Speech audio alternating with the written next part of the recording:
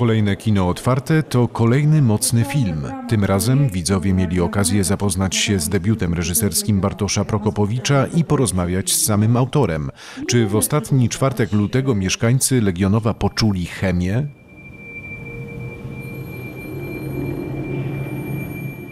Lutowa odsłona kina otwartego była dobrym momentem, aby zatrzymać się na chwilę i zastanowić nad trudnym tematem życia i śmierci. Można było skonfrontować się z ciężką sytuacją, przed jaką w każdej chwili może postawić nas przewrotny los i odpowiedzieć na pytanie, jak my byśmy sobie z nią poradzili. Lenka, Agnieszka Żulewska i Benek Tomasz Szuchart spotykają się przypadkowo na parkingu należącym do budynku, w którym chwilę wcześniej rzucili pracę. On, mężczyzna zamierzający popełnić samobójstwo i ona, dziewczyna, która ze względu na swoją chorobę, której nie chce leczyć, nie ma nic do stracenia, spotykają się i postanawiają spędzić ze sobą kilka szalonych tygodni w oczekiwaniu na wspólną śmierć. Jednak chemia, jaka między nimi zaszła, niszczy im plany.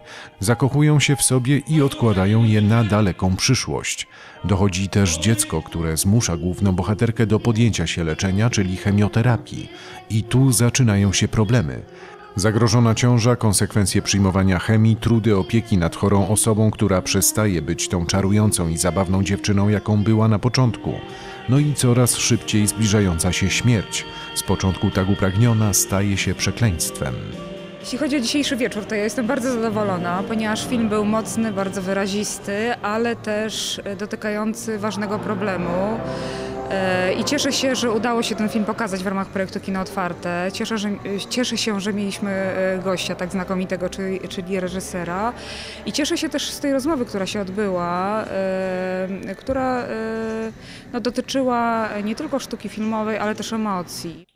Na pogadance, jaka odbyła się po projekcji, dowiedzieliśmy się, że historia inspirowana jest życiem samego reżysera i jego żony, która zmarła po ciężkiej walce z rakiem. To sprawia, że film staje się bardziej intymny i emocjonalny dla samego twórcy. Chociaż reżyser upiera się, że jest to literacka fikcja, i tak możemy zauważyć w niej kilka nawiązań do jego życia, choćby w osobie Benka.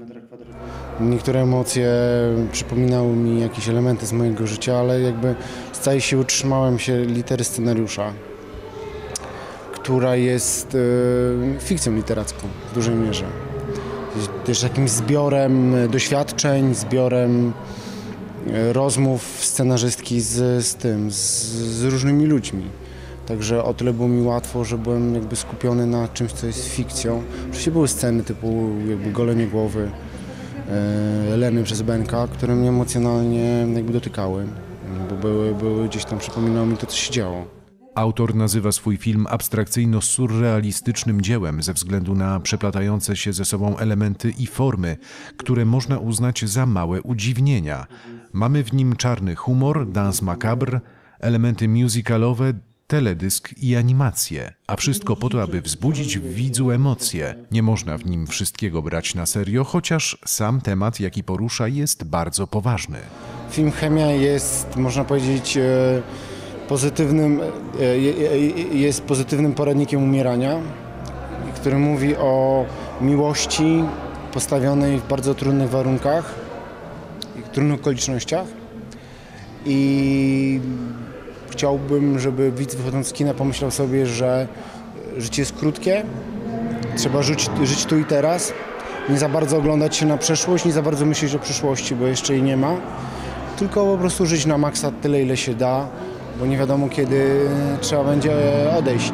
Kolejne spotkanie z kinem otwartym już 18 marca, wyjątkowo w piątek. Tym razem przedpremierowo zostanie pokazany film Matka.